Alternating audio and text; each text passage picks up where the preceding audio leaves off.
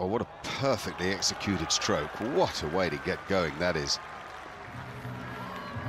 Kamran Akmal is full of talent, and when you see him play shots like this, just wonder why he's had a run of so many low scores.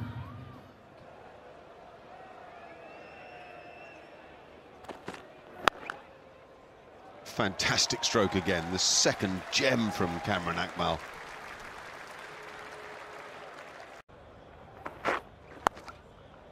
That'll be 4-2.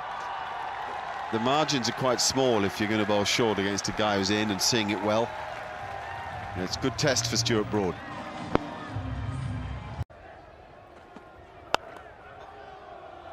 And another one. Okay, this is game on. And thank heaven for it. I think everybody around the ground would like to see Pakistan push England very close here. And I think the England team will want that as well. They want a game. Know, they want to win, playing good cricket, but they'll also want a contest.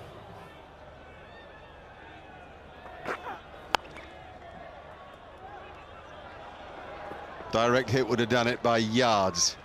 And Eoin Morgan lined it up. He almost had too long. One stump to aim at, and he wasn't good enough.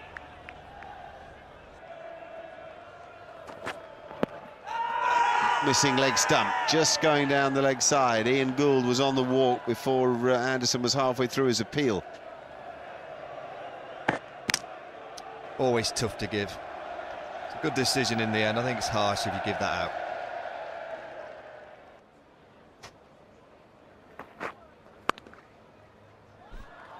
Yeah, nicely placed and nicely timed. That'll bring the 50 up for Pakistan. Just waits for it there and, and actually guides it in the gap through the covers. It's a good shot. Good response also from Kamran Akmal. They lose a wicket. Straight away he's on the attack. Oh, a drop. Flying chance there, Michael Yardy into the attack. Captain Strauss just fails to grab hold of it.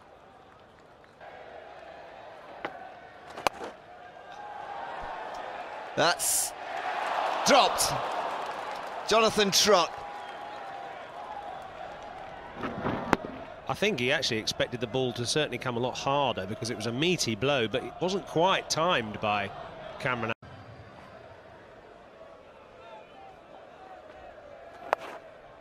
That's a good shot. It's just slipped a little bit down the leg side from Yardy, and Akmal, who's really fastening onto everything today, has gone to 49.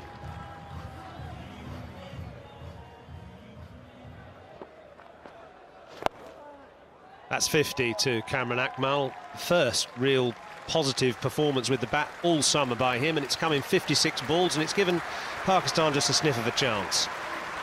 Yes, he's played extremely well. When you say a sniff of a chance, the figures are 177 more to win it. We'll find out how they cope after the break.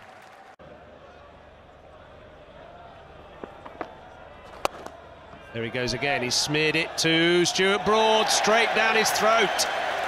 Swann galloping towards Stuart Broad, perhaps out of relief as much as satisfaction. That is a big wicket. Akmal had to take the lead role. He's the guy who's got in a side that's so lacking in confidence. It's much more difficult for new people to come in, and Akmal has gone.